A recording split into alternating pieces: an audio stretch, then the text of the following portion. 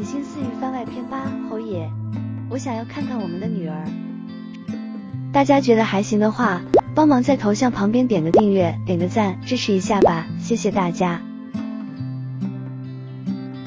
十一娘虽然醒了过来，但是仍然浑身没有力气。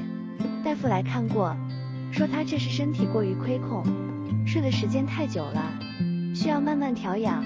大家也被十一娘的这一遭给吓到了，特别是徐太夫人，都流下了眼泪。十一娘带着有些虚弱的笑容回应大家：“侯爷，我醒来那么久了，大家都来看我了，但是你却没有让人把我们的女儿抱过来。她是不是在我昏迷这段时间发生了什么事情？如果是这样，你不用瞒着我，我都可以接受。”十一娘应付完来看望她的人之后，问徐令仪：“这个问题把她问懵了。”十一娘：“是我疏忽了，你醒来的时候。”我太激动了，光忙着找大夫了。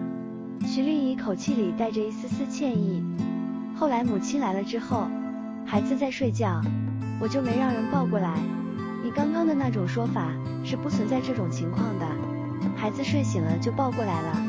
徐丽仪刚说完，就有人来报，说小小姐醒了，是不是要抱过来给夫人看一下？徐丽仪连忙招手，让人把孩子抱过来。他扶着十一娘从床上坐起来，给她弄好舒适的位置，和她一起等着奶娘把人抱过来。奶娘抱着孩子走了进来，把孩子交到了十一娘的手里，还教着十一娘怎么正确的抱孩子。十一娘看着自己怀里这个小小的人儿，满心的满足感。这个小家伙就是与她血脉相连的人，是她拼着命也要生下来的人。徐丽仪就这样站在旁边。看着十一娘抱着孩子，眉眼中带着初为人母的幸福，她不敢打破这样的场景，因为她觉得这才是最温暖的时刻。侯爷，我们的女儿叫什么名字？十一娘看着怀中的小人问徐令仪。孩子都出生好几天了，名字应该早就取好了吧？之前她也想过孩子的小名，可是自己这场昏迷把所有的节奏都打乱了。孩子的大名已经取好了。是族里的长辈算了孩子的八字给取的，但是孩子的小名一直没有取。我说过孩子的小名是让你来取的，你不醒来，谁也不能取。徐丽仪说着，语气中带着一股执拗，有些不像她平常的样子。侯爷，我没想到竟然还给我留着名字。十一娘没有想到徐丽仪这样信守承诺，孩子的小名还给自己留着。他曾在昏迷中听到徐令仪说。他不醒来，孩子的小名不会取。他竟然说到做到了，那孩子的小名就叫暖暖吧。希望他像温煦的太阳一样，给我们所有人带来温暖。十一娘没有多说些什么，只是把自己想好的名字直接告诉了徐令仪。好，我们的孩子就叫暖暖，他是我们的小太阳。